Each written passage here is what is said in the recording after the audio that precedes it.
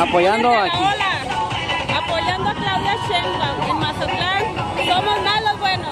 Pues ahí está el equipo de Fabiola Torres presente en este crucero, eh, Ejército Mexicano e Insurgentes.